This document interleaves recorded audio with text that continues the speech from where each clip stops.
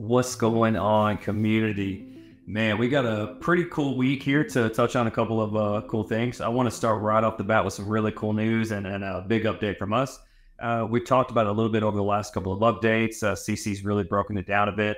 But if you go and look at the charts, you can see there's been a massive reduction in the way the redemptions have been coming into the system here at LL. Um, there was a few things that were needed to really kind of optimize a few things in the price feed, really reduce that ARB opportunity again in, in the redemptions. And it's, as you can see, significantly reduced. So this has led to, along with some pretty dramatic price action, uh, we see the TCR in the system back down below 600 now. I would assume that as people see that the redemption now, we'll start to see some aggression uh, come back in the system. People be a little more capital efficient, want to lean in and admit more and more and more. So Really excited to see uh, how that's playing out there. Uh, I think we'll see a lot more development. I think we'll see some healthy movements uh, that could lead to some pretty positive uh, yield for the loan holders as well. So a lot of cool stuff there. That's a big one. I'm really excited to see. And I think that the better that LL does, it also opens up capital for the rest of the chain. And there's a lot of kind of downstream effects that I think are very net positive. So really excited to see. The other one is where you saw a little bit of updates from uh, RH he's, he put a list of different cases out to start kind of get some amicus briefs filed in. Now, what he's really trying to champion for everyone that doesn't care what the legal language is, there's been a lot of outside uh, people that have written different briefs, which is where they're trying to basically get their opinion basically injected into a case, right? So uh, Hester Peirce, a handful of the different setters like Lummis, they've written different briefs, which again kind of go and speak uh, on behalf of one party of the case. Uh, this is happening at Coinbase. It's happened with Binance, Devbox, few of these big other cases. So again, without getting too much into legal jargon, it just means that he's basically asking all these big voices that are in crypto to also come file amicus briefs in his case. And there's two reasons. One, the case itself. We care about RH, we care about the ecosystem, those things.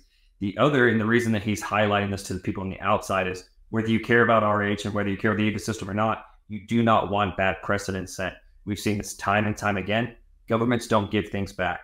So you basically have to hold the line. Uh, and it would be very advantageous. And if people have the ear or the opportunity to speak to any of these outside people that have a say, that have some clout, please encourage them to write amicus briefs on behalf of uh, the points that are listed out from the legal team of RH. They're very important. They're the fundamental building blocks of what we have here in crypto, and that line needs to be held. If anyone has an opportunity, uh, doesn't know what to say, or needs some input from myself, please reach out. I'm happy to help on these things. And again, if you have a connection, you can basically say, hey, you know, hand them over to me. We call it a little, little glad handing. Uh, bring them over. You know, again, Gary Woods, Coffee, Nuclear. There's a lot of people in the space that can, you know, kind of help. You know, we say load your lips. Or again, you can just try to bring them in. You know, get them in touch with one of us. We'll be happy to help there. Now the last one. This one's caused a, uh, a big uproar, and it's one that we've think we sort of touched on a lot. We've never really flushed out. I think as a community, we always end up split on this, and it's the idea of central exchanges. So a handful of people have talked about basically putting together a listing for MEXC.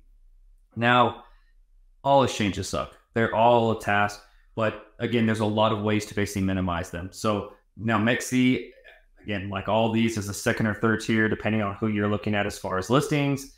They don't have a great reputation, as most of them do not.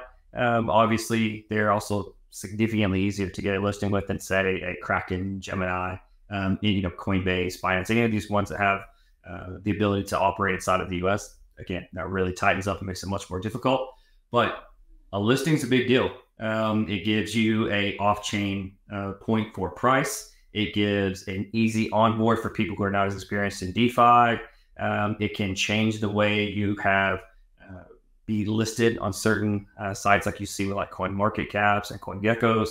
Um, and again, and to some people, coin listings are still assigned legitimacy. Do I agree? No. But again, it's not it's not me that we're after. It's after new people, new eyes, new audiences. So there's a lot that I think is really important in the discussion, but we go back and forth on this you know, between, you know, do we want them at all? RH put out a, a point here that seems rather negative. Again, you can kind of be a little ambiguous slightly as he's saying, hey, he doesn't like some of these, which ones are good. I don't really think any of them are good, but they're all useful, right? Uh, coffee, he has a good point where he says they're basically an expensive digital billboard. And I think there's something to that, right? There's some validity just saying, hey, we're on exchanges. And whether a exchange two, three, four, five make a big difference, t- trending a zero to a one makes a difference. From having no listings to having a listing is a pretty significant difference, right?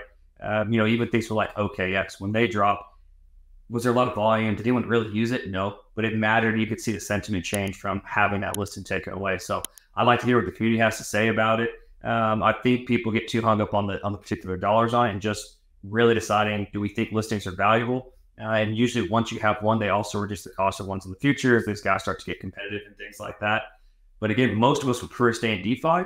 So again, this isn't about us. This is about new opportunities and new users. So I'd love to get some feedback there. But guys, you can see the improvements for us. We're gonna have more updates coming in the future. A lot of positive stuff going on. Even when the charts get down, all the sentiment gets negative, but the tech doesn't get worse. So I'll catch you guys next week.